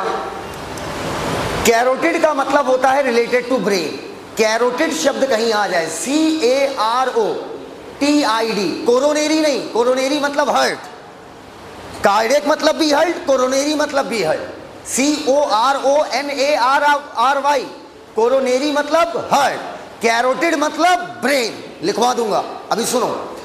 तो जो ब्रेन को ब्लड देने गया, वो कहलाएगी कैरोटिड आर्टरी कैरोटिड का मतलब related to brain carotid artery लेकिन ये राइट साइड देने गई है कि लेफ़्ट तो राइट कैरोटिड आर्टरी कोई दिक्कत है? तो जो लेफ़्ट साइड देने गई है, उसको क्या बोल देंगे? लेफ़्ट कैरोटिड आर्टरी सर हमको तो लग रहा है, ये जो एक पाइप है, इसी को चीर दो दो अलग अलग पाइप ठांस दो। यही हो जाएँगे दूसरे और तीसरे। यहाँ पर एक ही पाइप दोनों को दे दे रहा है ब्लड ब्रेन को भी दे दे रहा है और राइट हैंड को भी दे दे रहा है। राइट ब्रेन को राइट हैंड को। लेकिन इस केस में क्या हो रहा है? ब्रेन के लिए लेफ़्ट साइड अलग पाइप गया है और लेफ़्ट हैंड के लिए अलग पाइप गया है। तो इसे बोलेंगे लेफ़्ट कैरोटेड आल्ट्री अब सुनना। इतने दूर को तो हमने बोल दिया ब्रैकियो सिफेलिक साइफेलिक नहीं होता, साइफेलिक। सिफेलिक आल्ट्री अब लेकिन इसके बाद, इस पॉइंट के बाद जो हाथ को पाइप गया, इसका नाम बदल जाता है। आपको पता होगा, यहाँ पर एक हड्डी होती है। ये। ये हड्डी देख रहे हो? ये। अरे जिसमें बचपन में पानी रख के हम लोग फुड़कते थे, ये वाली हड्डी। देख रहा है? इस हड्डी का नाम बताओ। इस हड्डी का नाम क्या है? क्लेविकल पक्का? इसे ब्यूटी बोन भी बोलते हैं। हाँ कहते हैं जिन महिलाओं में वो दिखती है, ये बोन हाँ कॉलर बोन ब्यूटी बोन जो कॉलर पे पाई जाती है, वो महिलाएँ सुंदर मानी जाती हैं। और यही अगर पुरुषों में दिख जाए तो कुपोष कुपोषित कहलाते हैं। डबल स्टैंडर्ड अगर ये ब्यूटी बोन महिलाओं में दिखती है तो इसे सौंदर्य का प्रतीक माना जाता है। और यही पुरुषों में दिख जाए तो कुपोषित माना जाता है। कितना डबल स्टैंडर्ड समाज है भाई साहब। इधर आओ। ये जो पाइप है ब्लड का, ये इसी हड्डी के नीचे से जाता है। नीचे के लिए एक वर्ड इस्तेमाल होता है। सब। तो इसका नाम होगा क्लेविकल के नीचे से गई। सब क्लेविकल आल्ट्री क्लियर है? सब क्लेविकल आल्ट्री क्लेविकल के नीचे से गई तो क्या हुआ? सब क्लेविकल राइट साइड गई तो पूरा नाम हो जाएगा. राइट सब क्लेविकल आर्टरी ये लेफ़्ट साइड गई तो लेफ़्ट सब क्लेविकल आर्टरी क्लियर हो तो हाँ बोल दो यार. बस इतने ही पाइप जानने हैं? बहुत सारे. इससे ज़्यादा आपको नहीं पढ़ना है. ये मैक्स है मैक्स इससे ऊपर नहीं जाना है. वरना आप सारे पाइप याद करने लगो. तो हो गया बंटा था यही एम बी बी एस में निपटा दो पूरी. राइट साइड गया, right sub clavicle left side गया, left sub clavicle right brain को गया, राइट कैरोटिड लेफ़्ट को गया, लेफ़्ट कैरोटिड इतना पाइप कॉमन है तो इतने को बोल दिया। ब्रैकियो सिफेलिक आर्टरी। क्लियर हो तो आ। बोलो आ। आ। बीच बीच में दौरे पड़ते हैं मुझे। पता नहीं किस किस प्रकार के दौरे आओ इधर। कोरोनेरी शब्द आ गया। कोरोनेरी ऑब्लिक कार्डियक हर्ट की बात हो रही है। वहीं पर carotid oblique a brain cephalo के अंदर है या बाहर? ब्रेन दिमाग ब्रेन जो है हेड के अंदर है। तो इन सिफेलो इन मतलब क्या हो गया? अंदर। तो अगर कैरोटिड आ गया या इंसेफेलॉन आ गया तो इसे क्या बोलते हैं हम लोग? ब्रेन। जो पूरी बॉडी को ऑक्सीजन सप्लाई करा रहा है भाई साहब, पूरी बॉडी में ब्लड पंप कर रहा है, तुम्हें क्या लगता है उसे खुद ज़रूरत नहीं होगी ऑक्सीजन की? है। इसलिए हल्ड के लिए एक पाइप निकलता है, इधर देखिएगा प्लीज़ इधर देखिए। हल्ड के लिए एक पाइप निकलता है पतला सा कैसा बेटा? पतला सा जो हल्ड की मसल को ब्लड देता है। अब इस, इसमें इधर दिख नहीं रहा है तो मैं उसके ऊपर शेडिंग कर दूँगा।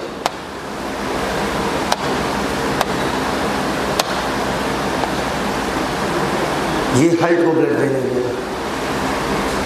एक हल्ट को राइट साइड ब्लड देने जा रहा और एक लेफ़्ट इसका नाम होगा कोरोनेरी आर्टरी कोरोनेरी का मतलब क्या हो गया? हर्ट अब नाम दे दो right coronary artery left coronary artery अरे यार। ईमानदारी से रट रहे हो या समझ रहे हो यार? समझ रहे हो ना? Coronary artery over and out ऊपर में इतना ही पढ़ना था। चलो, उधर मत देखो। पहला पाइप ब्रैकियो सिफेलिक ब्रैकियो सिफेलिक ब्रैकियो सिफेलिक जो कि दो पार्ट में टूटा। राइट अब राइट लेफ़्ट मत बोलो अंडरस्टूड है। सब क्लेविकल क्योंकि क्लेविकल के नीचे, और कैरोटिड आल्ट्री दूसरा वाला सीधे ब्रेन को गया कैरोटिड आल्ट्री। तीसरा वाला सब क्लेविकल आल्ट्री। क्लियर हो तो हाँ बोल दो। हल्ट को ब्लड कौन देने गया? Coronary artery. बोलो कोरोनेरी। कैरोटिड ब्रेन के लिए, कोरोनेरी हल्ट के लिए। अब इसके नीचे क्या हुआ वो समझना है। ठीक? तीन पाइप ऊपर, एक पाइप नीचे। ऊपर का समझिए जितना समझना था, इससे ज़्यादा आपको नहीं समझना। पहले बताओ, एकदम दिमाग में ठस गया है पाइप।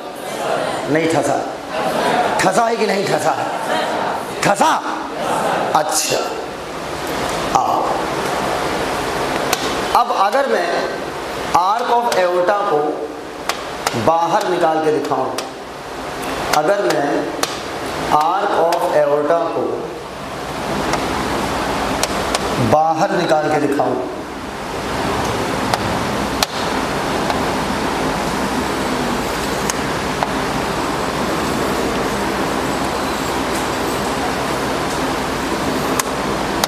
और इसी के ऊपर क्या बना हुआ है? हार्ट समझ गया ना मेरी बात? तो ये बताओ, जो मैं अब कर रहा हूँ, मुझे अच्छे से बताना बेटा क्योंकि खेल है बहुत बड़ा यहाँ पे। जब ब्लड ऊपर जा रहा है, ऊपर को असेंडिंग बोलोगे कि डिसेंडिंग असेंडिंग इतनी एओर्टा को बोलेंगे असेंडिंग एओर्टा कौन सी एओर्टा असेंडिंग असेंडिंग एओर्टा ये बेड़ा बेड़ा है तो ट्रांसफ़र से उल्टा पढ़ो मत, नहीं पूछेगा। ये वाला पाइप यहाँ से हल्ड के पीछे से जा रहा है कि आगे से? पीछे के लिए वर्ड इस्तेमाल होता है डोर्सल तो जो पीछे से नीचे गया, वो क्या कहलाएगा? डोर्सल एवर्टर एक्सक्रीशन खोलना जरा। Excretion excretory product and its elimination that is called that is called ना ना, पहला पेज पहला पेज पहला पेज पहला पेज पहला पेज पीछे जाओ बस। पहला पेज, ये। पेज नंबर 291 पर देखो, डोर्सल एओर्टा लिखा हुआ है। अगर मिल जाए तो बताना। दो सौ इक्यानवे पे देखो, डोर्सल एओर्टा लिखा है। मिल ही नहीं रहा यार। हाँ हाँ भाई, मिला डोर्सल एओर्टा मिल गया? अरे, पहले पेज एक्सटेशन पे है। डायग्राम देखो डायग्राम डायग्राम मिला? अब आ जाओ। ये क्या कहलाएगा? Dorsal aorta. एग्ज़ाम में क्वेश्चन आया, हल्ट के नीचे के अंगों को, जो हल्ट के नीचे अंग पाए जा रहे हैं, उनको ब्लड देने कौन जा रहा है? एसेंडिंग एओर्टा की डोर्सल डोर्सल जा रहा डायरेक्ट ब्लड देने। आओ, अब नीचे की कहानी क्लियर कर रहा हूँ।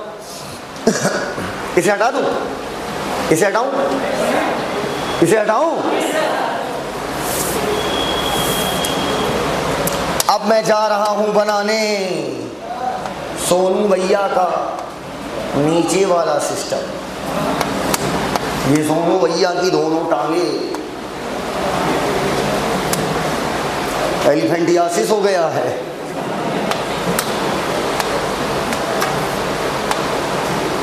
आओ। ये था डाया डायाफ्राम। ये था। और नीचे ले ये था diaphragm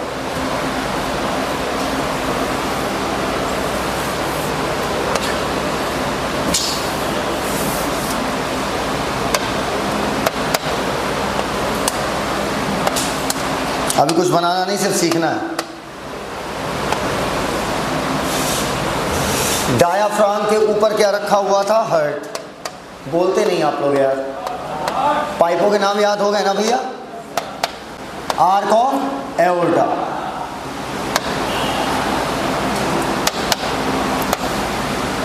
arch of aorta diaphragm को फाड़ते हुए, क्योंकि डायाफ्राम पूरे में क्या है? पर्दा। बोलो यार।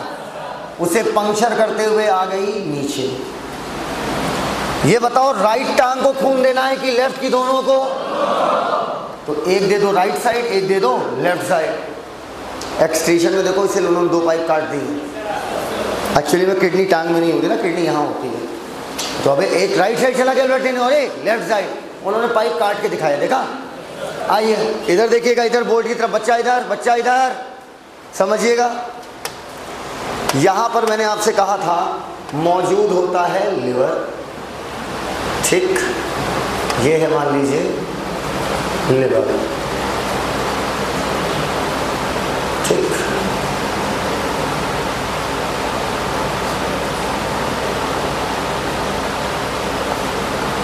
लिवर। आराम आराम से सीखिएगा बेटा, जल्दी, जल्द, जल्दबाजी मत कीजिएगा इसमें। इसमें जल्दबाजी करेंगे तो चीज़ खराब हो जाएगी। ये पाइप बॉडी के बिल्कुल बीचों बीच गया है। लेकिन अगर मैंने इसको बीचों बीच बनाया तो मैं आपको सिखा नहीं पाऊँगा। अंत में मैं आपको दिखा दूँगा बीचों बीच वाला भी। मैं ऐसे कहो तो बच्चों, किनारे बना दूँ। किनारे बना दूँगा तो आसानी हो जाएगी। समझ ही नहीं पा रहे हैं यार। नहीं समझ पा रहे हो। स्टमक यहाँ होता है। ये पाइप बिल्कुल बीचों बीच गया है। स्टमक इधर होता है। लेकिन पढ़ाने की सहूलियत के लिए, ताकि ज़्यादा घुमाना ना पड़े स्टाइलर को, मैं डायग्राम अपने अकॉर्डिंग बना रहा हूँ। क्लियर है बात? आओ। तो अब मैं क्या करता हूँ? यहाँ पर बनाऊँगा स्टमक। समझ लो इस पाइप को मैं किनारे क्यों कर रहा हूँ?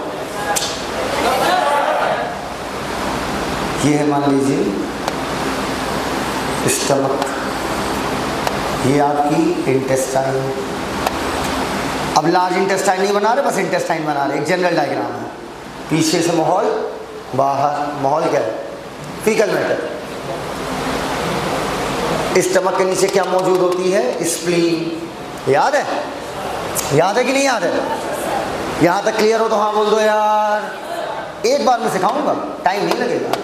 तो अब मैं सर इस पाइप को यहाँ से ना लाकर किनारे से लाऊँगा। बोलो भैया बोलते क्यों नहीं हो यार? अरे आएगा वहीं से नीचे। लेकिन थ्री डायग्राम नहीं है ना यार? तो मैं आर का बेटा यहाँ से ले आया। ठीक? अब इधर इससे एक पाइप निकल के डायाफ्राम को ब्लड दिया। ब्लड तो सबको देना है भैया।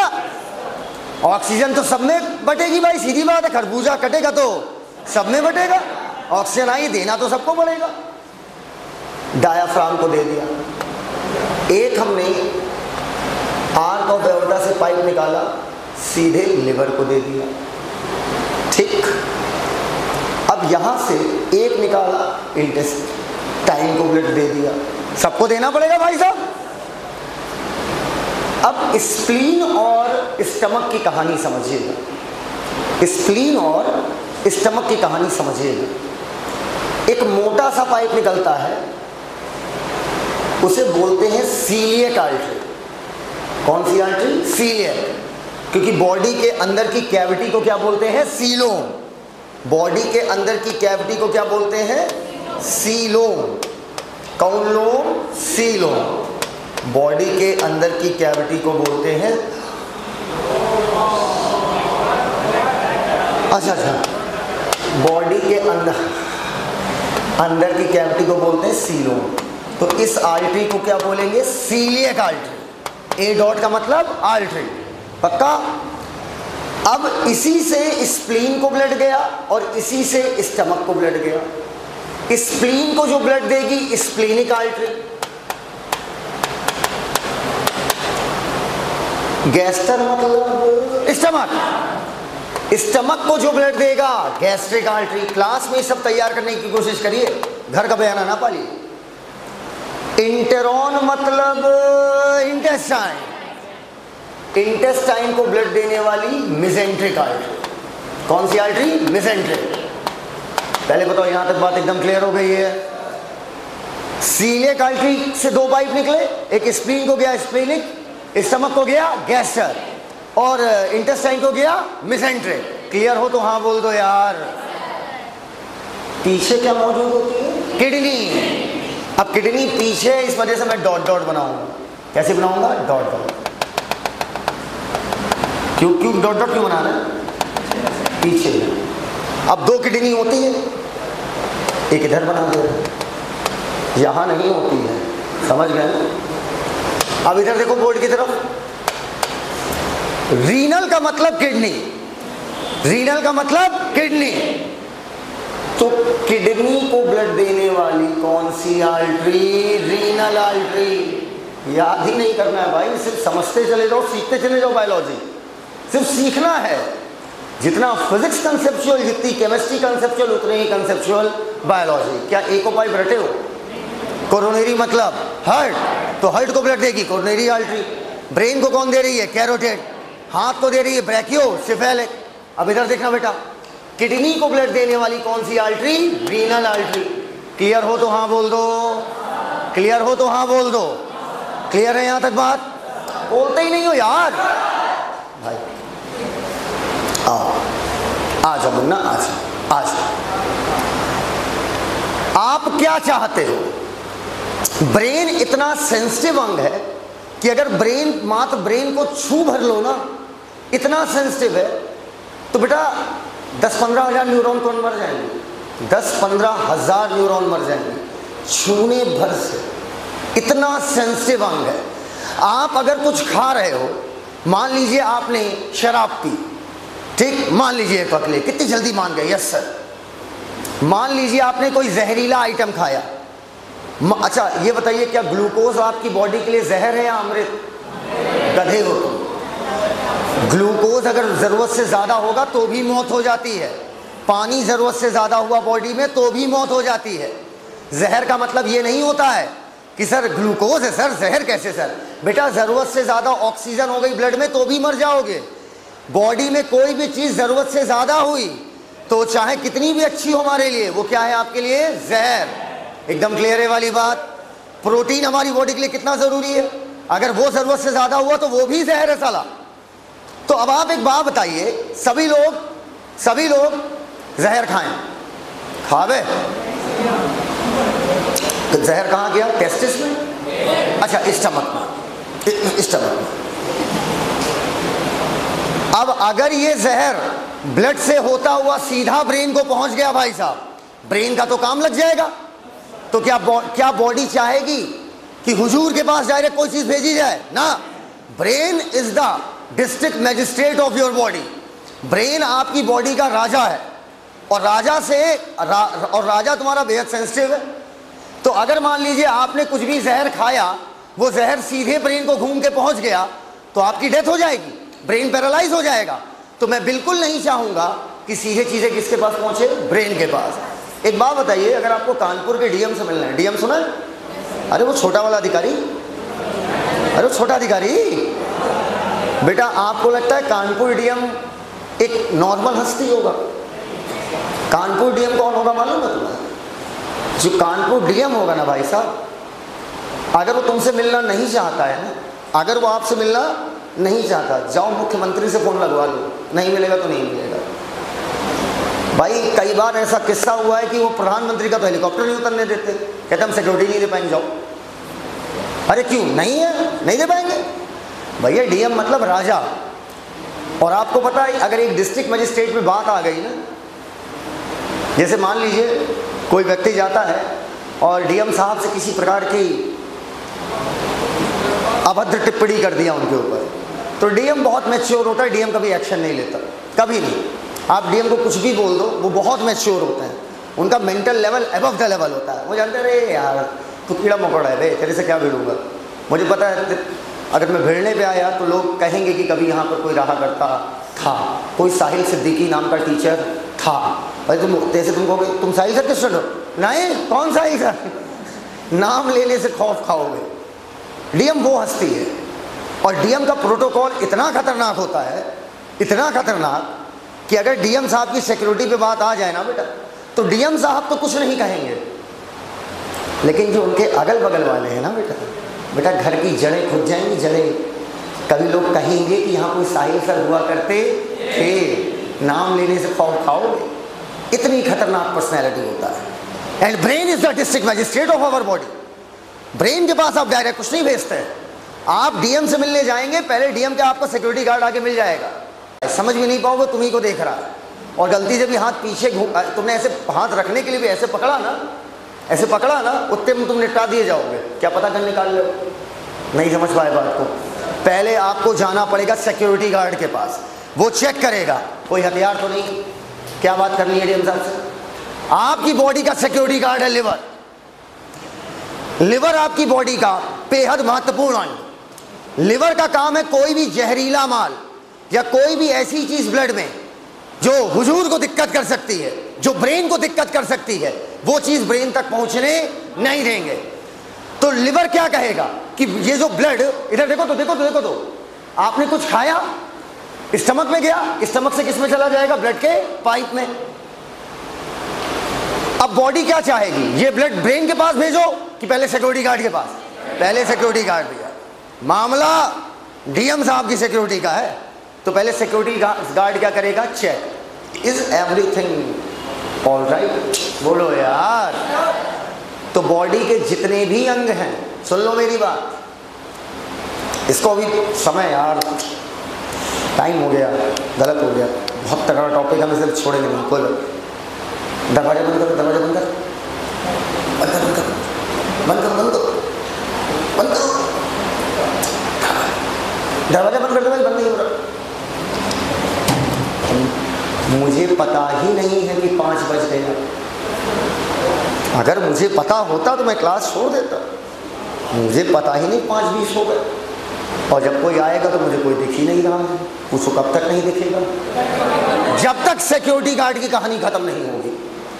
अब आपने एक जहर खाया। जहर का कलर आमतौर पे आप नीला बनाते हैं। आपने एक जहर खाया। जहर गया ब्लड में। मैं बिल्कुल नहीं चाहूँगा ये किसके पास जाए? ब्रेन के पास। पहले लिवर के पास भेजो इसे। अब बताओ सीलियक आल्ट्री से निकली हुई स्प्रीनिक और गैस्ट्रिक आल्ट्री गैस्ट्रिक आल्ट्री से स्टमक की सेल्स क्या ले लेंगी? ऑक्सीजन और बदले में क्या डाल देंगी? कार्बन डाई ऑक्साइड ब्लड में कुछ भी डालना है। ब्लड से कुछ भी निकालना है। कौन सा ब्लड का पाइप कम ऑन एकदम क्लियर है बात। इसका मतलब यहाँ पे कैपलरी से क्या होगा? आदान प्रदान ऑक्सीजन ले ली जाएगी। ऑक्सीजन ऑक्सीजन ऑक्सीजन ले ली जाएगी कार्बन डाइऑक्साइड डाल दी जाएगी। कौन सा आ, कौन सा ब्लड का पाइप इस्तेमाल होगा? कैपलरी सुनते जाना। भेज दो भेज दो। स्टमक से ब्लड सीधे भेज दो ब्रेन के पास। भेज दो। जब कार्बन डाइऑक्साइड डालोगे तो अब आप क्या चाहोगे? सेल ऑक्सीजन ले लेगी कार्बन डाइऑक्साइड दे देगी। ब्लड किसके पास भेजोगे? हार्ट यहीं पर गल यहीं पर गड़बड़ हो जाता है फिर सुनना बड़ी बहुत बड़ी बात बोल रहा हूँ भाई साहब। बॉडी में किसी भी अंग तक ब्लड अगर जाता है बॉडी में किसी भी अंग तक अगर ब्लड जाता है तो वो वो अंग ऑक्सीजन ले लेता है और कार्बन डाइऑक्साइड डाल देता है। उसके बाद आप ब्लड को किसके पास भेजते हो? हार्ट बस यहाँ पर ये नहीं होगा। स्टमक और इंटेस्टाइन जब ऑक्सीजन लेगी और कार्बन डाइऑक्साइड डालेगी तो ब्लड सीधे लिवर के आ, सीधे हर्ट के पास नहीं जाता वरना साला हर्ट पंप कर देगा ब्रेन के पास। आमतौर पर किसी भी सुन बहन मेरी बात सुनो। आमतौर पर किसी भी अंग को आप जब ऑक्सीजनेटेड ब्लड देते हैं तो वो ऑक्सीजन निकालता है CO2 डालता है लेकिन वो ब्लड उसके बाद घूम के किसके पास जाता है? हल्ट लेकिन यहाँ पर ये नहीं होगा क्योंकि अगर स्टमक इंटेस्टाइन से ब्लड चला गया हर्ट के पास हर्ट सीधा भेज देगा ब्रेन के पास। और कुछ हो गया तो आ, अब ब्लड वापस लेकिन लौटना चालू करेगा। स्टमक को कौन सी आर्टरी गई थी? गैस्ट्रिक आर्टरी तो स्टमक से जो वेन आएगी, उसका नाम होगा गैस्ट्रिक वेन। बोलते ही नहीं है। बोल दो। स्प्लीन को कौन सी आर्टरी ब्लड देने गई थी? स्प्लीनिक आर्टरी कौन यहाँ से ब्लड वापस लेके जाएगी? Splenic vein. कितना सुंदर पढ़ाता और मज़ा आ जाता है। खुद मज़ा आता है साई सर से पढ़ने में। बहुत मज़ा आता है। अच्छा। इंटेस्टाइन को कौन सी आर्टरी गई थी? मिजेंट्रिक आर्टरी कौन लेकर आएगी? मिजेंट्रिक वेन एम वी लिखने समझ जाओ। कोई दिक्कत तो नहीं है बेटा। दिक्कत हो तो इलाज कराओ। डॉक्टर हकीम एम जुबैर। आम तौर पर ये ब्लड किसके पास जाता? हार्ट के पास। लेकिन अब ऐसा नहीं होगा। पहले ये तीनों पाइप आपस में मिल जाएँगे। तीनों पाइप आपस में मिल जाएँगे। मिलके एक मोटा पाइप बनाते हैं। ये लिवर के पास ये लोग क्यों गए यार? ताकि कोई जहरीला माल हो तो लिवर उसको निकाल ले। बोलो यार, जाना किसके? अबे, ओए, बैठ बे। अरे, कितना वॉशरूम भाई? वॉशरूम पेशाब करेंगे। इतना इंपॉर्टेंट टॉपिक यार। ह्यूमन फिजियो की जान है ये भाई। लो ये कॉन्ट्रैक्शन ऑफ़ यूरिनरी ब्लैडर करने जा रहे हैं और रिलैक्सेशन ऑफ़ यूरेथ्रल स्पिंटर अभी पीएच पूछ लेंगे तो बता देंगे। छः, अब पूछेंगे हम इनसे लौटते वक्त। ग्लूकोज निकलेगा तो ग्लाइकोसूरिया कीटोन बॉडी निकलेगी तो कीटोन यूरिया कोई किट तो इनके पास है ही नहीं, बस हमें ये बता दें ग्लूकोज चेक कैसे किए थे। अब सुनो, एक शब्द होता है पोर्टल सिस्टम। कौन सा सिस्टम? Portal system. कोई पाइप है? पाइप है, पाइप। पाइप है, पाइप। जल्दी पूछो, कोई पाइप है? पूछो पूछो, पाइप पाइप पाइप। लिखो, पोर्टल सिस्टम।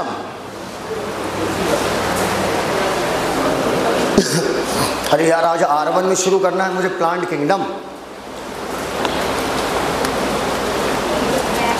अरे एक पाइप दे दो यार कहीं से। पाइप।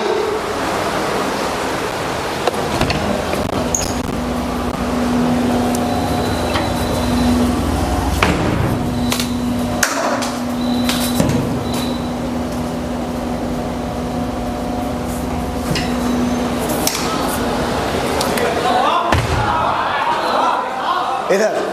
ओए, पकड़े, खड़ो।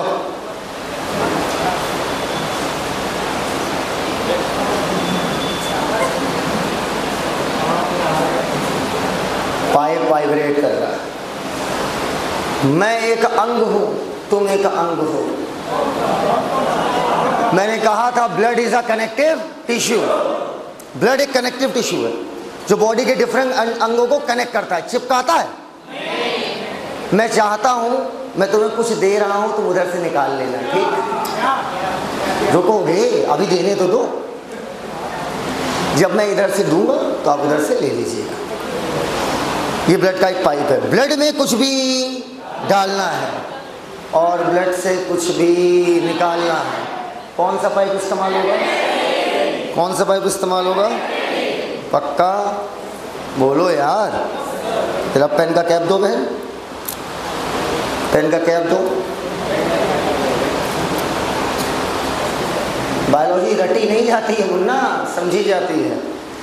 मैं कुछ डाल रहा हूँ उधर से निकालेगा। कैपलरीज में कुछ डाला। देखो। ओ, निकला, देखा, निकला। This is portal system portal system का मतलब कैपलरी से शुरू कैपलरी पर खत्म। ये कब इस्तेमाल होता होगा? जब एक अंग कुछ डालता हो, उधर से दूसरा अंग कुछ निकालता हो। हाँ तेरे नाम से शुरू, तेरे नाम पे खत्म। कैपलरी से शुरू, कैपलरी पे खत्म। तीन तरीके का पोल्टल सिस्टम हम पढ़ते हैं। Renal portal system, hypophyseal portal system, hepatic portal system. आज सिर्फ़ एक सीखेंगे, बाकी दो के नाम भूल जाइए। पोल्टल सिस्टम समझ गए? कैपलरी से शुरू। पक्का? भाई स्टमक में कुछ डाल रहे अरे यार, कुछ सुन ही नहीं रहा है। मम्मी बता देंगे, माँ गाल खींच रहे थे। स्टमक में आपने जो खाया इंटेस्टाइन में जो गया, वो किसमें गया? कैपलरी में। कैपलरी से किसके पास पहुँच रहा है? लिवर के पास। हटाओ, सीधे हाइट को भेजे को भेजो मार डालो आदमी को। नहीं, अरे पागल हो गए क्या सही इतना मत जो सही है अच्छा अच्छा अच्छा अच्छा अच्छा।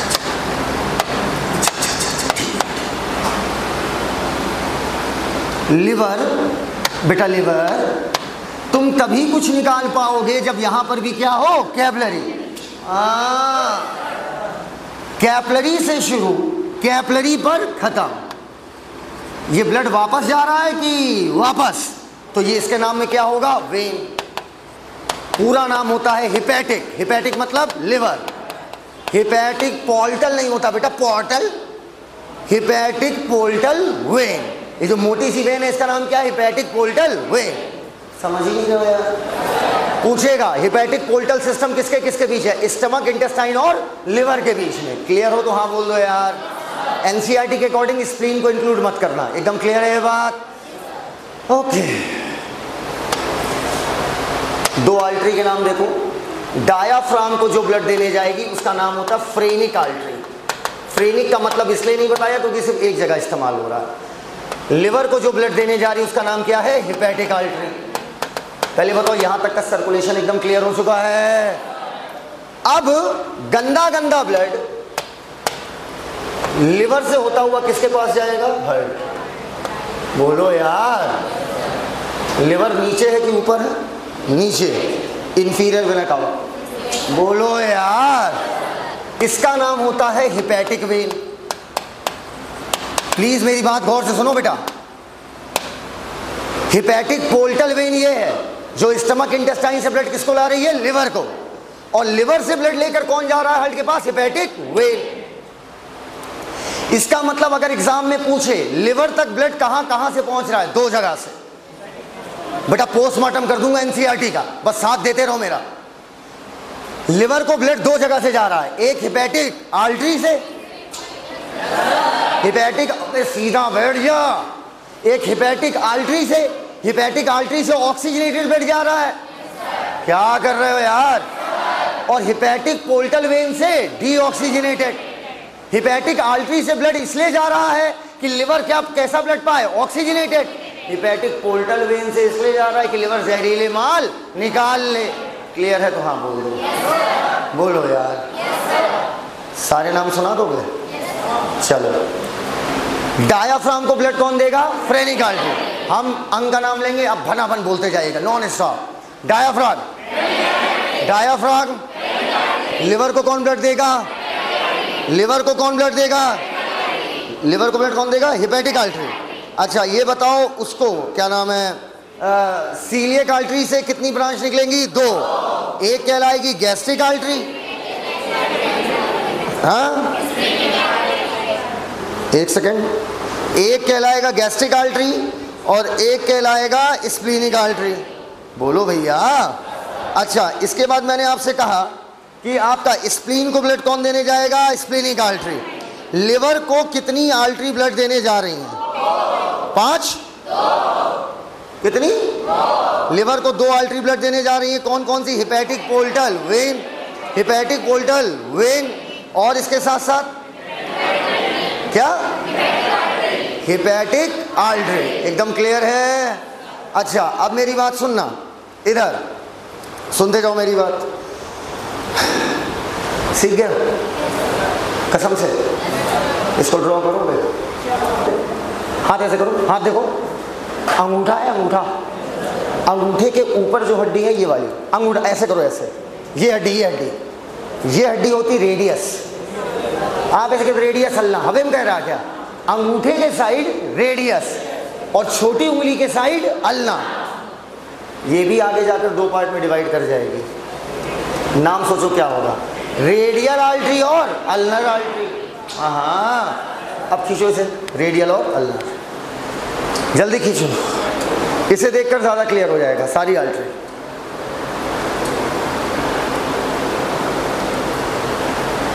हो गया?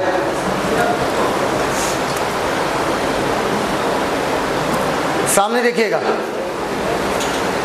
खींचो। खींच लिया। चलो, सामने बोर्ड की तरफ़ देखिए। गौर से देखिएगा ये आपको एक काली काली लाइन दिख रही है। काली काली लाइन दिख रही है? ये काली लाइन क्या हो सकती है? डायाफ्राम। इसी के ऊपर क्या रखा हुआ है? हर्ट। हर्ट का राइट साइड ऑक्सी की deoxy deoxy left side oxy. गौर से देखो, ये निकली है आर्क ऑफ़ एओर्टा। ये दो आर्क ऑफ़ एओर्टा से निकली कोरो नेरी आल्ट्री। कैरोटिड ब्रेन की है भाई साहब। कैरोटिड कहाँ की है? ब्रेन की। ये कौन सी आल्ट्री? कोरोनेरी आल्ट्री। अब आर्क ऑफ़ एओर्टा से कितने पाइप निकलेंगे? तीन। एक, दो, तीन। पहला वाला पाइप ब्रैकियो सिफेलिक आल्ट्री।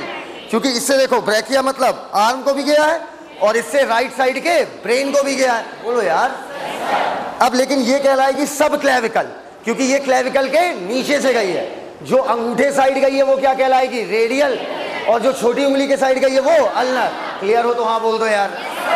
दूसरी वाली आर्टरी सीधे ब्रेन के लेफ़्ट साइड को गई है। अरे दूसरी वाली आर्टरी सीधे ब्रेन के किधर जाएगी? Left side. क्या बोलोगे? लेफ़्ट कैरोटिड आर्टरी तीसरी वाली left brachiocephalic left subclavian artery. आगे जाकर रेडियल आल्ट्री और अल्नर आल्ट्री। एकदम क्लियर हो गया होगा। अब इधर देखो बेटा, इधर। ये है तुम्हारा लिवर। ये है स्टमक। आप कहोगे, सर, स्टमक यहाँ कहाँ होता है? अरे बेटा फिर दिखेगा नहीं ना पीछे तक। इस हॉल में तो एक बार दिख भी जाएगा, मेन वाले हॉल में तो कुछ नहीं दिखेगा फिर। अब इधर देखो। इधर। डायाफ्राम के नीचे का माल। ये क्या हो गया? स्टमक। ये क्या हो गई? इंटेस्टाइन और स्टमक के नीचे क्या होती है? स्प्लीन इधर देखो। आर्क ऑफ़ एओर्टा से। इसमें देखोगे तो ज़्यादा क्लियर होगा।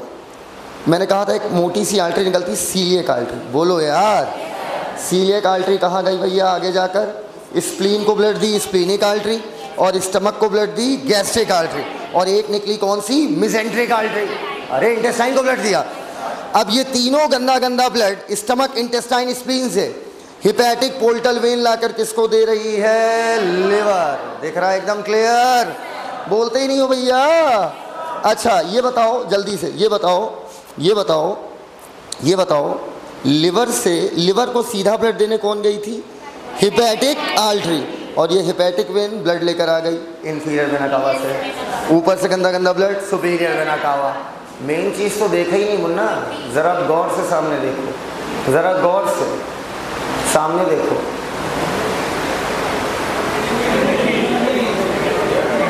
ये हल्ट का बैक साइड है। तो बताइए, ये एवोल्टा कौन सी होगी? डॉर्सल या वेंट्रल? और उससे गई है ब्लड देने renal artery this is entire and complete human circulatory system आज की बातें यहीं तक, बाकी बातें कल करते हैं। थैंक यू धन्यवाद।